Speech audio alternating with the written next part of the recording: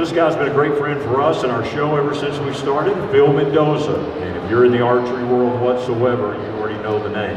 And uh, Phil and his team at No Limits Archery do a great, great job there. And uh, if you found what I found, a lot of your bigger box stores and other type places just do not have the quality of professionals there that know what they're talking about, just to be quite honest with you. So these guys know what they're doing, everything about archery.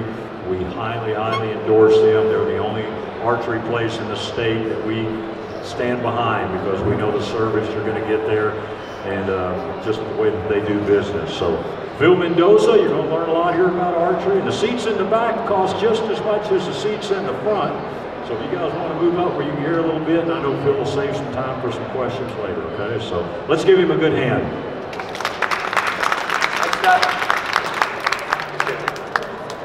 Welcome, everybody. Sunday, almost lunchtime, right? Try to make it not too long so we can not miss our midday meal. Um, I'm Phil Mendoza. I have uh, been doing a few different seminars here the last few years, and uh, I, like Scott mentioned, I own No Limits Archery. We're the biggest private facility in, in the state, archery-wise, indoor range, outdoor range. Uh, we're trying to expand our reach, not necessarily from the pro shop aspect, um, but from the educational aspect. So I appreciate the ISE's platform here to uh, extend this to me. So when I was thinking about the, changing the topics up a little bit for this, this, this session, uh, last year I talked about buck fever, wrote a short booklet on that, and it's, it's, it hits, hits home with that, that topic with a lot of people, and whether it's target panic, you want to call it, or buck fever, at some point affected everybody in some way, right? So I started thinking, it's like, well, I want to talk about that a little bit again, but, you know, how do I better inform you, educate you, and, and show you how to apply it to, to what your system is and what you're doing in the field. So I'm in the midst of, of finishing our second, my second booklet with some, some work that I'm doing with a whole new shift in focus in, in education that we're working on. So I sent out a, a survey. I picked out uh, a handful of people from my email list and I sent them a personal email and I actually was looking for feedback because what I see and what I apply, what I assume is common topics and uh, issues that, that, many people have from my perspective. I wanted to see it from your perspective. So I sent this, this survey out, and it was interesting because I, I alluded a little bit about the work that I'm working on, sent it out, the title that I was looking to potentially title it, and about half of the feedback I got was on that exact topic, okay?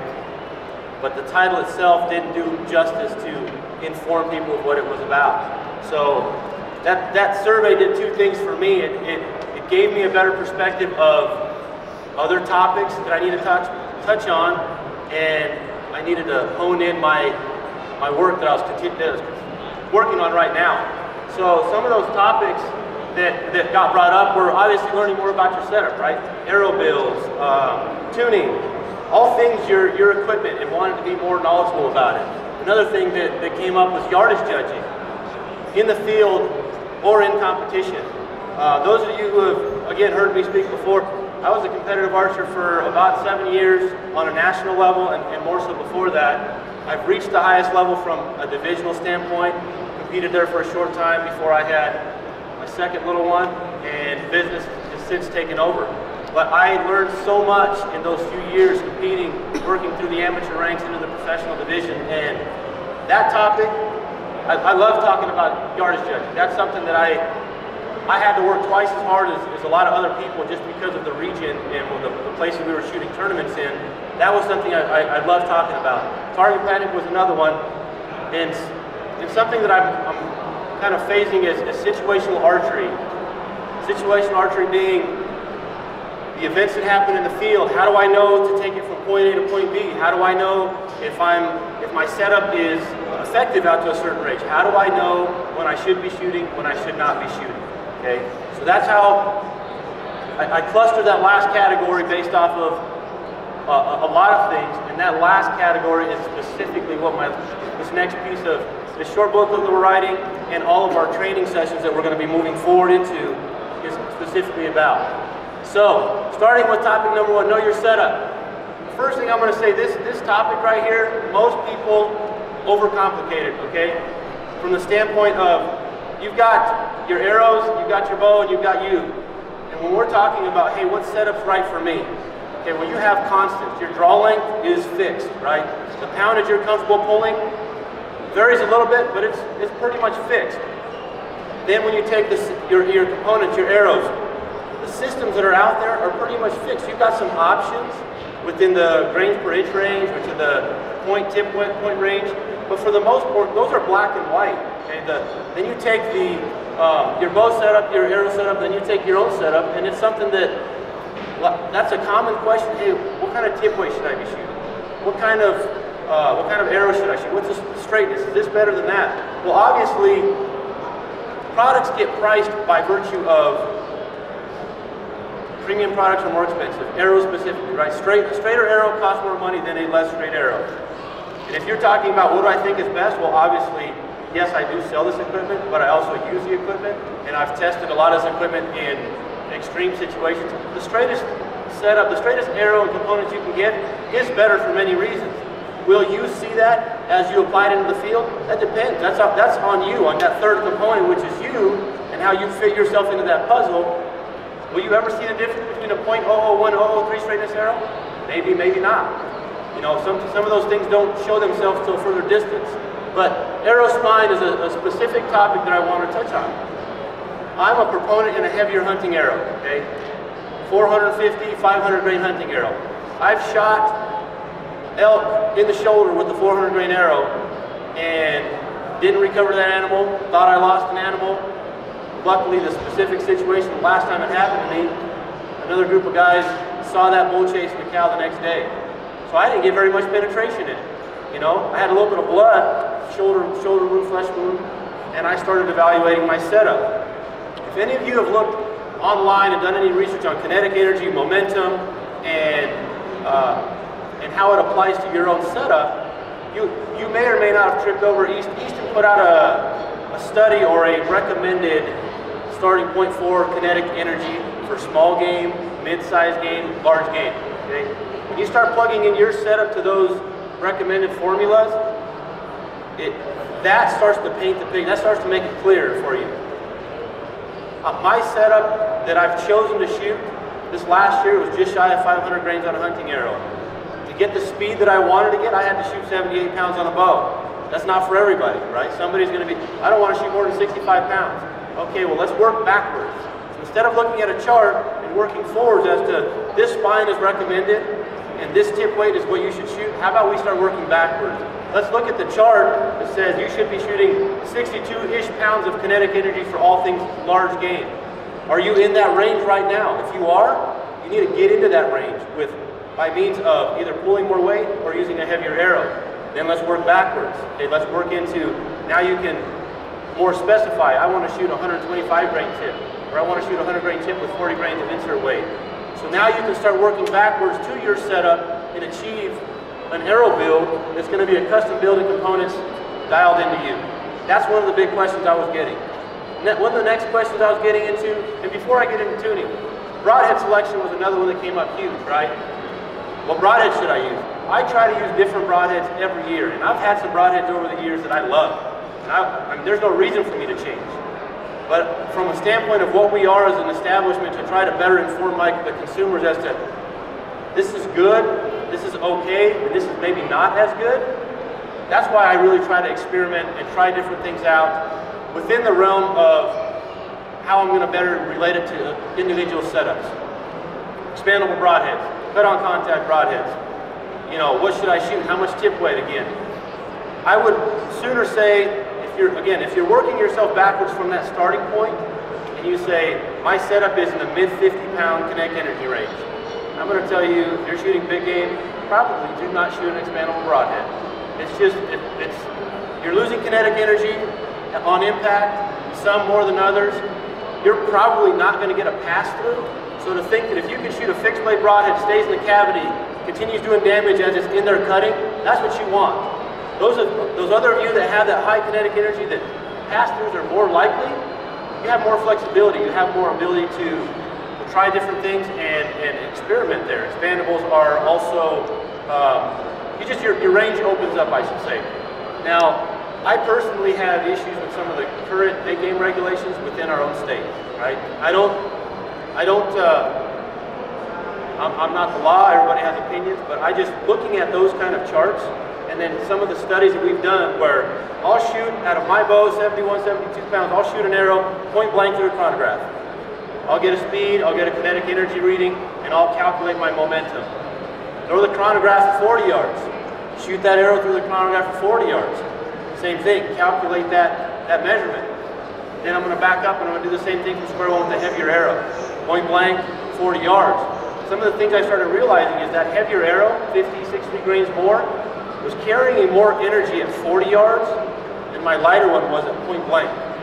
So to think that when you start talking about the effective range, when you start talking about what setup is going to be right for you, all those things need to come into play.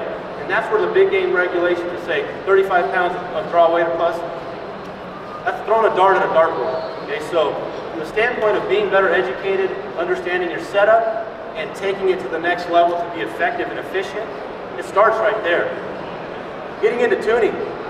Uh, tuning, you know, Hoyt put out, I went through a Hoyt, uh, Hoyt school. We, as dealers, we get invited to do a lot of warranty schools and technical uh, learning.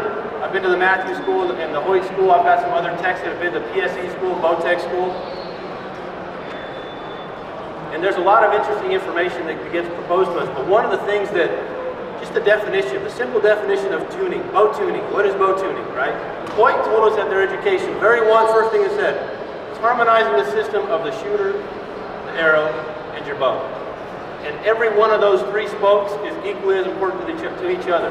You can look on paper and say, this is my bow. You can look on paper and say, this is my arrow setup, which matches what that bow should be. But here's me, and I have bad habits and I punch the trigger, and I grip the bow too bad, or too uh, the wrong way. I put torque in it. What are we doing? You know, we've got the weak flaw is, is usually the, the Indian that's, that's, that's running the whole thing. So understanding that when we have tuning issues, as a pro shop, we can help you with the bow and the arrow, and we'll tune your bow to one of to, to one of us. But as you add you, that third component in there, that's that other third critical component. So anytime somebody tunes your bow, says, shoot a bow hole, it's clean, you're, you're good. Or a bare shaft tune, it's good. Until you can achieve the same results, technically that tune is not complete. So understand that there's so many elements and variables that are inherent from this system by virtue of everybody has a different, you know, bigger hand, thinner hand. They apply pressure differently. They feel comfortable holding a bow a little bit differently. So that system is super important from the standpoint of it needs to be in harmony where to start? You know, hey, I'd like to start working on my own boat. I'd like to start figuring out more if I can fix something in the field. Uh, you know, I'm having this issue, troubleshooting it. Identifying that this is a very common problem, we started doing workshops and seminars at, at the shop. My goal is here within the next month, we're going to start recording some of those because I've been doing them the last two months at the shop. I did some last year. We're going to start filming those and clipping them down, editing them, so I'm going to be able to offer them as an online course you don't, if you know, people that aren't in the area or they can't make it to the specific time, you're still going to be able to get some of that same information and learn how to apply it to your setup. So this is something specifically that we're working on to help you from the tuning standpoint because again, you're talking about the different the different methods of tuning a bow, how it applies to certain things, and, and all things harmonizing that system, there's troubleshooting, there's things that, that help more than others. But the one thing I'll tell you here today is that what I like to do in my setup, what we like to do in our shop, we get your bow set up. If we're going to do a full tune and a string install, whatever the case is, or you come in before season, you want your bow tuned. We're going to try to get your bow into manufacturer specs, starting specs. It's number one. If your string and cables will allow. If your string and cables are old and stretched, there's only so much we can do with that. So that's where a lot of times we recommend that you update your string and cables. That being said, manufacturer starting starting point. From there we take it and we'll actually paper tune your bow at, at point blank range, three to five yards. We'll take that and make adjustments as necessary, and then that's kind of where we stop. Is there other methods of tuning? Yes, there's many. Do they all apply? Depends. Target, are you a target shooter or you're a hunter? What I would say is that final step, that next level of taking your setup to the next level, achieving maximum accuracy, efficiency, effectiveness, broadhead tuning, bare shaft tuning, that's where I take my next step. In a target atmosphere, I'm going to go group tune. I'm going to drop, I'm going to walk back tune. So that's where we stop at a good starting point to add you into that system. Okay, so that's where we, where we believe the most effective way to do it is. So understanding where, where we go with that, some of these videos that we're going to start offering online, some of the, the seminar, the workshop that we offer in our shop, takes you and walks you through some of those steps to take it to the next level. It's too much technical information to cover in, in five or 10 minutes, but just know we have that available in, in, in our store. You can click on nolimitsarchery.com right now, and there's a scheduling tab. You can go right and schedule. Next thing, yardage judging for competition. Important topic, right? A lot of people want to shoot competitively. They want to they want to go practice for the season. They want to be ready by the time the season comes. They want to start practicing all year.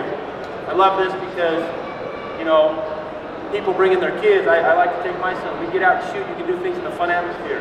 Obviously, the level of interest and um, competitiveness you want to add to the situation varies. But yardage judging in many cases, although there is a lot of marked yardage uh, uh, events now, this comes into play somewhere. A couple quick topics. This is another subject that I'm going to start working on as we get into spring. Our new facility, we have a huge outdoor range, 3D target set up uh, from using, it's going to be set up from March to October, November timeframe. So these types of workshops and seminars, we're going to start working in the spring and through the summer. But a couple different methods that, that I've used uh, and applied to yardage judging for competition. Depending on how, what level, again, of competitiveness you want to get to, the, tar the, the target size, identifying and learning a yardage based off depth perception of a specific animal is the best way to go. The reason for that is if you get in a dark tunnel situation when animals in a shaded area, it's going to look different to your eyes than if it's in a bright sunlight, open, wide, wide open area. If you get into a downhill situation and it looks like it's, oh, that's, that's you know, that's really far down there. You know, unless you can identify an animal at a specific distance, and it takes a lot of practice, that's the best way. Target detail. A lot of people don't think of target detail. If you can of, if you can look at an animal at 30 yards and you can make out the scoring rings on the vitals and the eight ring, okay? Let's say that you take two or three steps back, where you can't see those, that vital ring anymore. That's a direct indicator right there that if you're not sure, is that target 33 or 34 yards, or is that 28 or 29 yards? Can I see the detail in the ring? I can see the detail in the ring. That's an indicator that it's closer than you think, right? Stuff like that. Detail in an eye, the, the, the coloration of an eye of, of a target. If you can pick that eye out at a certain distance and you know at a different distance you can't, direct indicator as to, you don't even have to start with, I think it's 40 plus yards or it's 30 plus yards. If you can start making out detail, again, that takes practice that's something that I really prided myself in when I was shooting competitively because most of what we do in Colorado is more wide open shooting. There's some pine trees. As you go to where it's more competitive with ASA and IBO archery out east, Midwest, you're shooting tunnels, you're shooting big canopies, you're shooting shade, you're shooting so many different situations that being able to identify an animal based off the animal itself, not the ground or uh, other, other factors, is, is the best way to do it. So detail and target size are key. There's the five yard method. You can string a rope or you can throw cones every five yards and you can start looking at the ground and identifying what a certain distance looks like as you walk back. The problem I have with that is if you get to a 3D target in a tournament and you look down range and you say 5, 10, 15, 20, 25, 30, 35, what if you're off by a half a yard on every distance? might as well, you're two to three yards off of the target. To be competitive, you need to be able to judge yards within a yard, in some cases two yards, but if you want to be competitive at the highest level, you need to judge within a, within a yard at all distances to 50 yards. And that's, that's the level of uh, skill that you have to have to shoot in the pro class. The, the 10 yard method, you can do the same thing, 10, 20, 30, 40. Those two methods I'm less of a fan of. I like more the halfway method. It was a method, what I would, my system, when I was judging yardage, I'd, I would look at the target, I'd identify the target, and I would get a number in my head based off what I remember or relate based off uh, depth perception. Okay, I think that target's 43 yards. Now I'm going to look at a halfway point between me and the target. I'm going to try to judge to the, find the halfway point. Okay, I got that. Now I'm going to judge to the ground to the one spot, and then double it. That's what the, that's the, the second system that I would use. Another way you can do, if you're looking at a, an animal, you'll see sometimes you'll see people kind of doing this. You know, they're looking side to side at that animal. And that's another way of determining a midway point. If you can take the left side of the, when you're looking at the target and draw a line to your right foot and the right side of the target to your, to your left foot, and you can same way try to achieve an X, some point in the middle, that's going to help you determine that midway point. Judge that, double it. If it's a further target, add an extra yard just in case, usually for insurance. Arrow's going to drop a little faster as you get out there. So that was my three-step method for judging a target. If you're getting into competitive archery, you have 30 seconds to a minute to judge a target and shoot an arrow if you, depending on where you sit the order. So that system has to happen quick and you have to be very proficient at it. But that's what I would do in a competition uh, type setting. Yardage judging for hunting. This is one of the biggest things that I that I heard from my response from my survey, and I didn't even. I know I have my system. I know what I do, but it, it was a huge issue. I, I couldn't believe how many responses I got on this specific topic. And so they say, well, you know, I want to learn how to judge yardage because you don't always have time to pick up a rangefinder. And I would say that I am, I use a rangefinder 90% of the time. Even though I've practiced for years judging yardage and being proficient out to 50 yards, my number is 40 yards, okay? 40 yards and in, I'm comfortable enough to judge that target within two yards and put a kill shot the vitals. Outside of 40 yards, I'm going to try to use a rangefinder. And that's just from insurance, that's just from, from being, uh, that's what I want to know. So you know your capabilities first, right? Determine your absolute distance. Your absolute distance may be 20 yards. I can't judge past, you know, you might not be able to judge past 15 yards. Know your absolute distance. Because if you know that absolute distance, then that's, if you know that animal is in that, within that range, don't waste your time with extra movement or, or pulling up a rangefinder. You know you're comfortable to there. One more thing. Understand what your setup looks like at all distances. I don't, I mean, I, I've, I've shot a lot of high-level competitions with a lot of people, but I love shooting with my peers, and I love shooting with my friends, and I love shooting with my son. And one of the things that always comes up, and I wish I could help somebody, but sometimes I don't want to be intrusive, but we'll get to a target that's 33 yards, and they'll miss. They'll say, I must have overjudged it, I must have underjudged it.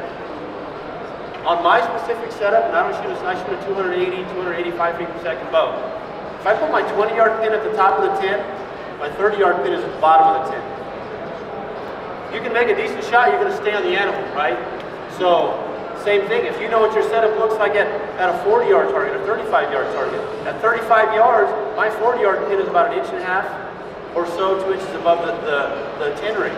My 40 yard pin is floating right at the bottom of the tin or just below. Know what that looks like. If you pull up on a target and or an animal and you say, you know, at, at this distance, uh, a mule deer, for example, roughly 20 inches top of the back to the belly line. You, you pull up on a mule deer, you should know what your pins look like at that distance. You can mark a piece of tape on the wall and just walk back a distant, different distance know what that looks like. Those are the kind of things that are going to, you don't need to be able to judge the 40 yards, but know what things look like at, through your sight at that distance.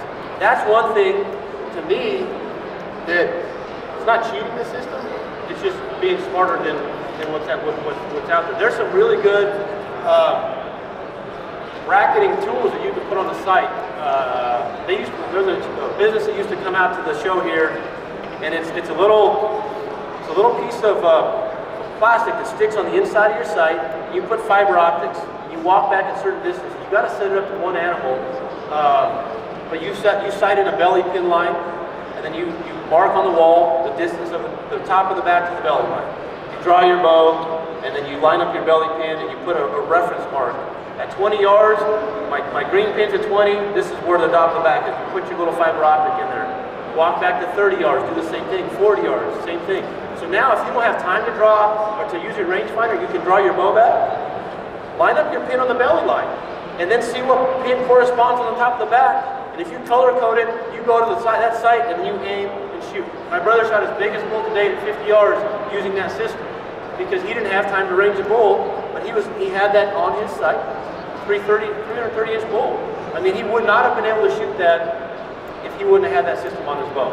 So there, we have those in the shop. and it's a great tool. Legal for 3D archery, so you know, but it is acceptable for hunting.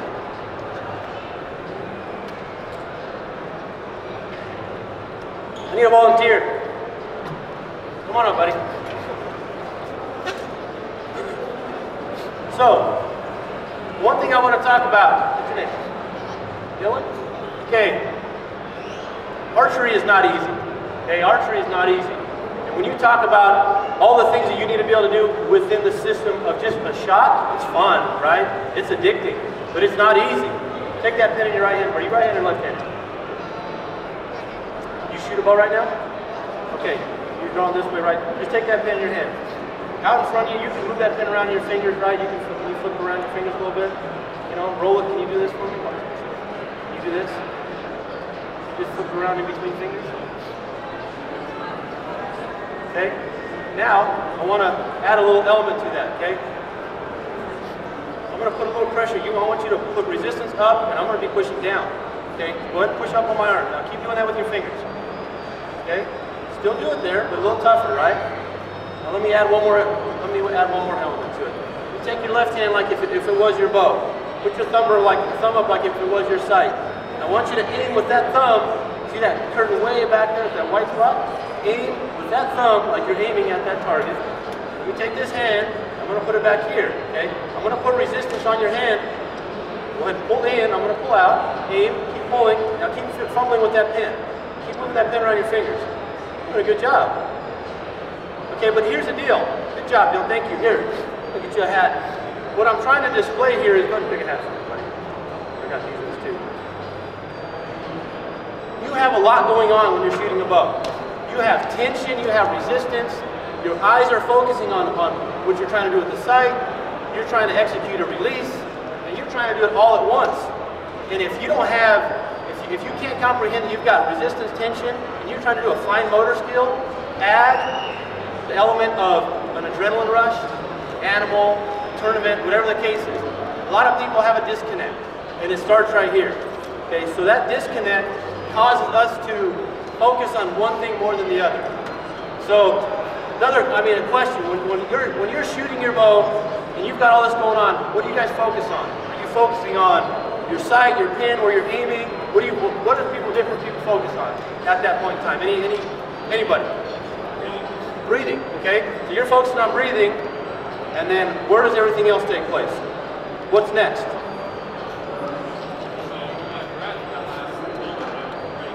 But, but mentally, what are you doing? Okay, so you have a clear idea, a concept of what your sequence is and what you're looking for. Good. Anybody else? I mean, are they looking at your sight? You're looking at your bubble? What do different people look at when you're shooting? Anybody? Looking at your sight, right? Most times, your focus goes to your sight. When you're shooting your bow and you're focusing on your sight, what are you forgetting? Secondarily, you've got to still execute your shot. So if you're over, if, if you put too much focus on what's going on with your sight, you're forgetting about what's going on here. Sometimes you start to get weak, you start to break down, you start to snap shoot, you start to anticipate the shot, causes all kinds of problems. And once you start doing it once, then you do it again, and you do it again, you're creating bad habits, right? Taking and you're scooping a pile of crap on top of your shot sequence every time you shoot your bow. Because you're not doing something right, but you continue to do it, and you continue to do it until it gets to the point where you might not even be able, your, be able to hold your pin on a target. It happens, right? And it's not that you're, us as archers and bow hunters, it's not that you did anything wrong. You know where the problem honestly comes from? People like me, as an archery dealer. Okay, and I'm taking full responsibility for that because I do a good job, and my people do a good job of taking you as a customer. You're, you need this setup, you need this draw length, you need this poundage, this bow fits good for you. This is what you need. Get you going, shoot a few arrows, set up your bow properly, send you out the door, right? You go to a box store, they don't even do half of that. They'll give you the bow and they'll send you out the door. That's where the breakdown be begins.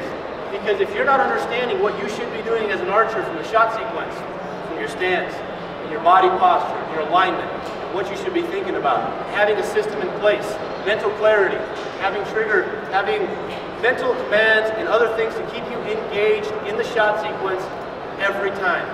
That first time you get that shot and you punch that trigger, you just started down that road. If you don't know how to get yourself back to square one and accepting perfection, and I don't want to say perfection in a bad way, but within acceptable reason of what your capabilities are, that's where you should be starting. Anybody know what this is on the right side of the screen here? It's a bad drawing of it, but anybody have an idea what that is? It's a draw force curve, okay? You sometimes you'll see in advertisements when they're advertising their bow. Our bow is the smoothest bow on the market. It builds pounded steady, and then it peaks, and then it jumps off into your valley. And this is your valley. One of the biggest problems that cause target panic is that bow hunters or archers do not know where they should be shooting from within this draw force curve. If you're building poundage, for example, this is a 70 pound bow, When you reach 70 pounds peak weight. You got 80% let off. This is that let off phase. Anybody shot an elite before? Got that bow sitting back there, feels like you can hold it all day long, right? That let off's more like 85%. The PSE's got it up to 90%. This is where you're shooting from. What's one of the one of the common terms that I hear from customers? The bow feels jumpy. Feels like it don't have no valley, right? It feels like as soon as I get it back, it wants to come forward. Two things cause that. One thing is either your boat being out of time, being out of, it's not tuned properly, or that's just the cam system. If you understand that this is where you're shooting from, but actually you should be shooting from here. And what that represents is, when you're shooting your bow, if you get back into that comfortable area of the draw of the valley, and then you start putting all your focus back on your aim, one shot you may be pulling a little bit harder, you shoot your arrow. Another shot, you might be breaking down a little bit, and you shoot your arrow. This is, vari this is a variation of variability you're introducing in your setup. The variation of variability is bad in archery. You want consistency. When somebody says pull hard against the back wall, as you start pulling hard against the back wall, you start to build poundage back up again. That's where a tension style release or a hinge style release is huge, especially if you need to start retraining yourself from a target panic standpoint. Why? You're going to be shooting from the same spot on the draw cycle every time. Anybody know what a tension release is? Or back tension release? A back tension release or hinge is slightly different than a tension, a tension. Sorry. Tension style release is designed on a spring. What you do is we take your, we identify what this poundage is on your setup. So if you're shooting a 70 pound bow, ideally 80% let off bow, you're going to be holding roughly 14, 14 and a half pounds of holding weight, okay? As you pull harder into that back wall, it feels like it stops, and you start to build poundage quickly. We set a tension release to fire at roughly 16, 17 pounds. You check that on a spring on a scale. So when you start drawing that bow back, and you get into your valley, you dip it's got a safety, right? Great release, great training release, you take the safety off, and then all you're focusing on is pushing and pulling and aiming. Push, pull, aim, push, pull, aim. Until that, until that poundage builds and that shot fires. Gives you a surprise release. It teaches you what aiming is. Of the big, I talked a second ago about where the disconnect in archery is. Aiming it, just put the, put the pin in the center and pull the trigger, right? Is that aiming? Kind of a generic definition of what it is. But if you don't know what a, your sight pin looks like, what it should look like, and you don't know how to relay that to where you should be shooting that shot or execute that shot, there's a breakdown number one. So if you know that everybody has pin movement, everybody. I shot with some of the best archers in the world, and you stand look next to them as they're shooting, you can almost set a cup on their bow and you don't think it was, it's moving. You wouldn't, you wouldn't see movement because their, their bow is that steady. But they have pin movement. Everybody has pin movement. Once you accept and understand that you have pin movement, and then you take the focus off of your sight and you focus on executing your shot. I just I just sat through a couple seminars at AT. I love going to listen to some of the other people talk as they articulate things differently. And uh, Joel Turner, Ironmind Hunting, uh, he, he does his own training training uh, system. A lot of it's on target panic.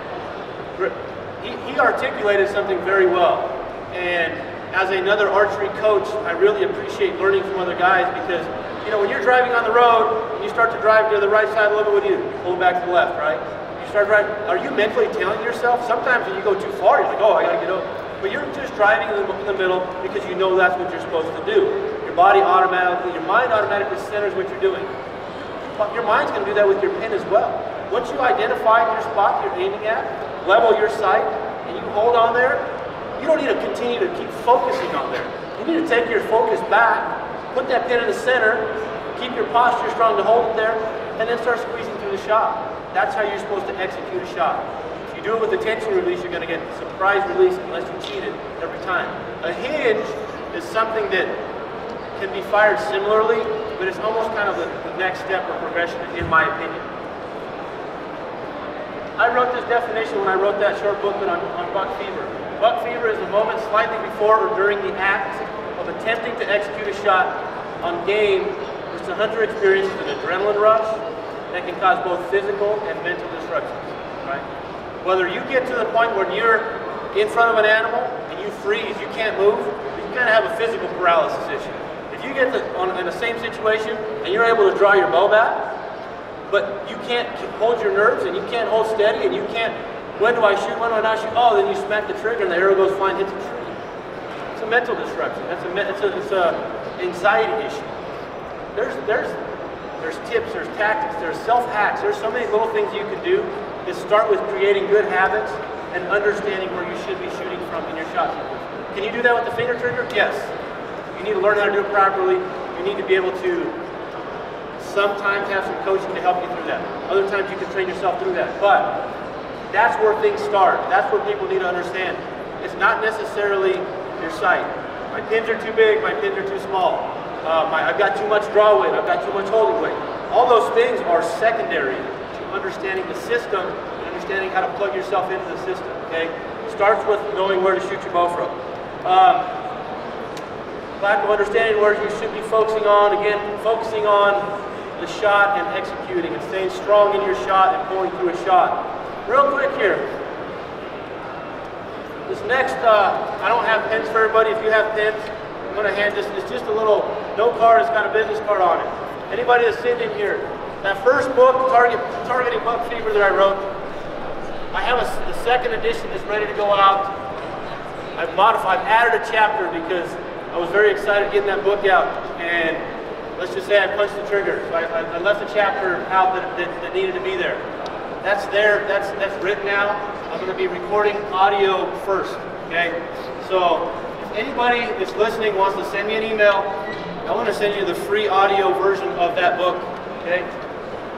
Just send me an email, tell me you were here at the, the ISE seminar, and and if you don't, I have more pamphlets, so they're just a note card. That's, that's a little uh, exercise we're going to do here in a second. But again, I've tied in, and I think it's more well-rounded now with that short book. Again, the audio notes are going to be, uh, I'll send that to you for free, just as a as a thank you for being here. Uh, this little note card on the back of it, it's got five numbers. If you got a pen to write with, great. If not, just start thinking about this, okay? I have some pamphlets if we run out of business cards as well, just for that email. Okay, so I'm really excited about moving forward into this next booklet that we've written and into our training in our in our online seminars, in our in-house seminars, in our workshops, are again trying to take you as a, from a bow hunter from understanding how to make a shot to knowing what to do in the field. Okay, the biggest thing that came back to me when I sent this email out to everybody for feedback was, how do I know what to do, when to do it, and my, my piece that I'm writing is, is on developing a system to help you determine your effective range and know how to plug that into you in the field quickly and keep you engaged. I talk a lot about buck fever and, and uh, target panic. A lot of it's a, lack of, of, of, it starts in the mind, right? If you, if you disengage yourself, that's where the breakdown starts. The key is being able to keep yourself engaged into a process, into a shot sequence, into understanding a system. And if that system happens to be applicable to the hunting situation, that's going to help you stay engaged, it's going to help you stay focused, and it's going to give you purpose and confidence when you're in the field. So, if, you have something to write with, number one, this is number one shot scenario. Okay, let's just say this, this animal right here. Ground blind, you're sitting in the ground blind. These animals are 10 to 25 yards away from you. That animal has to be 20 yards away. At that position, is that a shoot or no shoot scenario for you? Okay? Some people no shoot, right? Other people shoot. Some people no shoot. You know, quartering to, slightly quartering, probably walking slowly. Something to think about. Next scenario. Hope you don't shoot. You know, you know how to identify your animal, your, your target acquisition, right? Obviously, this is a no-shoot situation, but more for humor than anything. But hey, you need to be able to identify what's going on. Okay, here's your next scenario. You're standing next to a pine tree, somewhat brushed in. You're camoed out. Elk hasn't seen you. He's standing at 37 yards. Pretty much broadside. Is that a shoot or no shoot for you? Maybe, maybe not. What if you're shooting a 35-pound bow? What if you're a 24-inch draw length? What if you can't, if you're if you can't keep a decent sized group at 40 yards? Is that a shoot or no shoot? Something to think about, right? Know how to plug yourself into the situation. Next next scenario, you've got a deer walking slowly. You you're again standing behind a pine tree. These are game camera pictures. Some of them, by the way, looks like in the same spot, right? That deer uh, walking, right? 34 yards. Is that a shoot or no shoot for you? I mean, a lot to think about there. Smaller body size, where, how, how good of a group can I hold? Is that animal going to stop? Are you in a good position to make a shot as it moves further? So many things to think about. That's something that you should be able to determine what's going on there within a second.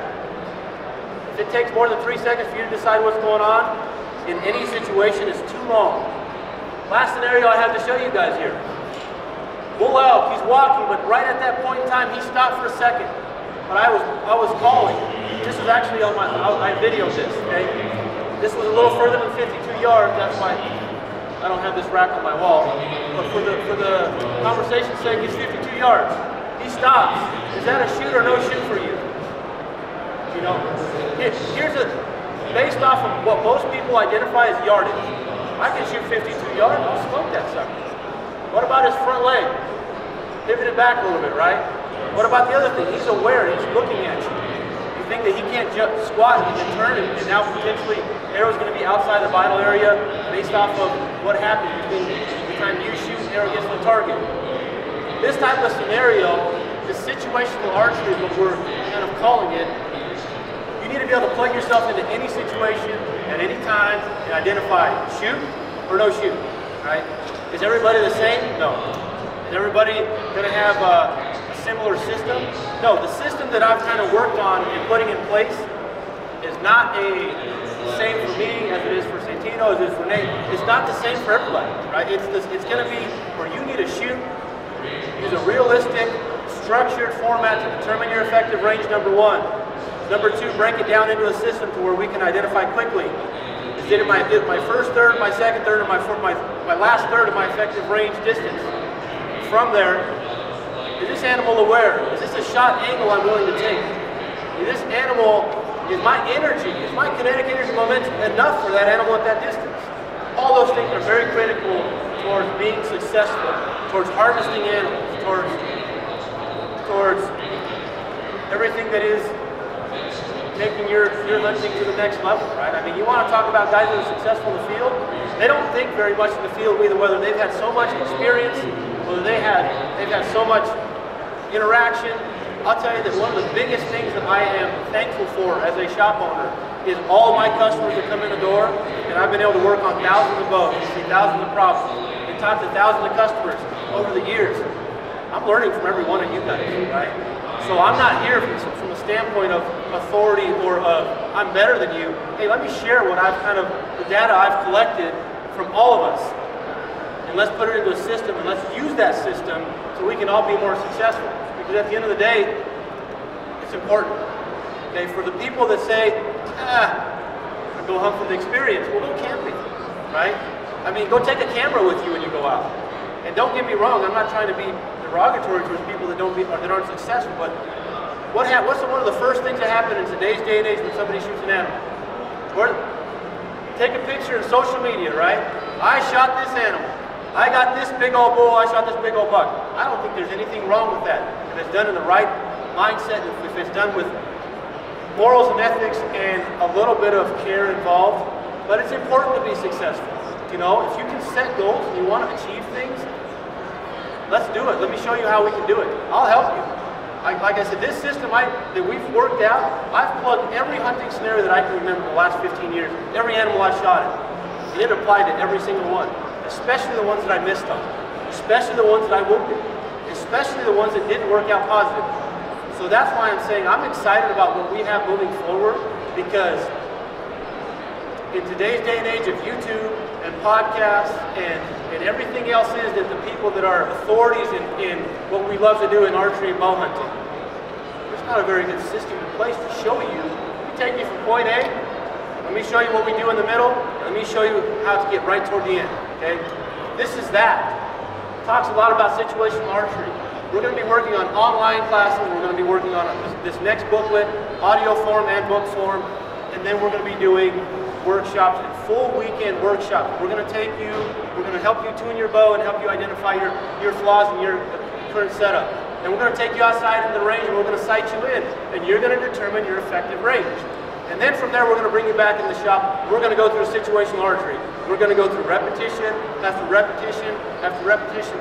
So many different scenarios that you're going to know what you need to start thinking about. So come hunting season, it's not just a matter of I can shoot my bow, I can hit a six inch group for 50 yards. There's so much more we're missing the point on. This, this, this system we're working on is just that. So mid-February, that next booklet's going to be ready. It's almost done now. I'm in formatting, and I need a for, for Kindle. There's a lot of things that go in the back the back end for writing a, a booklet.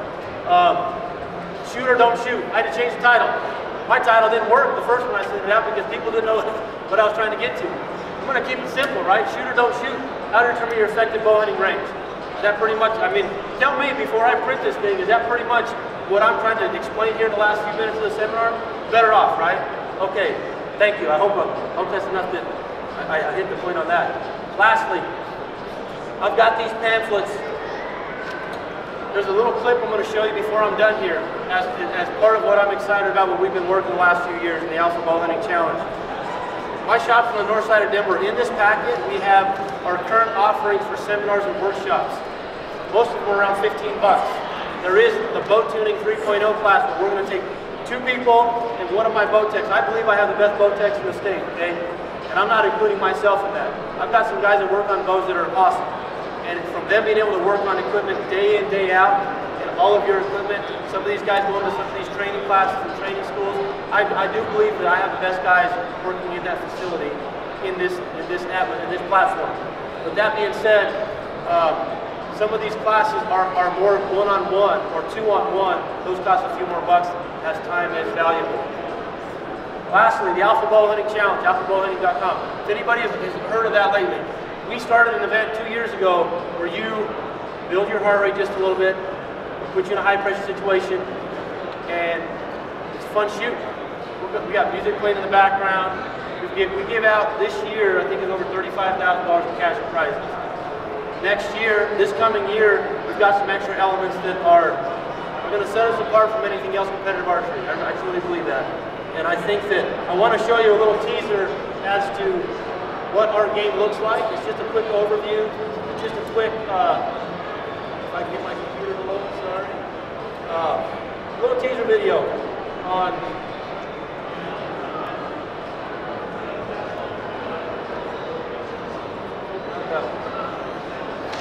Sorry, those guys are up next. Look for the hunts up next on the next seminar. I encourage you to stay. They're partners of ours for the Alpha Bow Hunting Challenge. But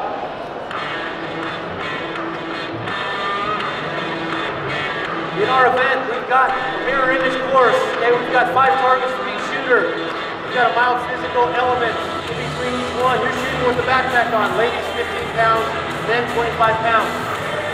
In this event, as you move away from each other, we're shooting at clay midget targets. Fun to watch everybody shoot. This, this event, we have all divisions, traditional, men, women. My son competed in this event this year.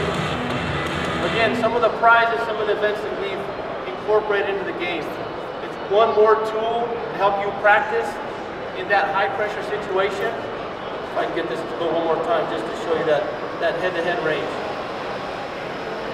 You know, again, the, before, the, it takes two and a half minutes to three minutes to shoot around. You don't need to be in great shape. This is going to help you just elevate your heart rate a little bit and show you what it's like to that situation. So, I encourage you to come out. Three of them are going to be at, at Overland Park. One of them is looking to be on the West Slope again this year. Uh, ton of fun. I mean, like, our, our ladies champion, Haley, stand on the side over there. she'll tell you. She, it, it's, it's something that there's no, there's really nothing like it from the standpoint of we, we happen it happens quick and we we uh, we put you in that element. So before I before I pass off the, the mic here shortly, back to Brian and, and the Fit for the Hunt crew. Again, Fit for the Hunt has a component in our element in our games. They're working out and they're doing prizes. I encourage you to stick around and listen to what they have to say.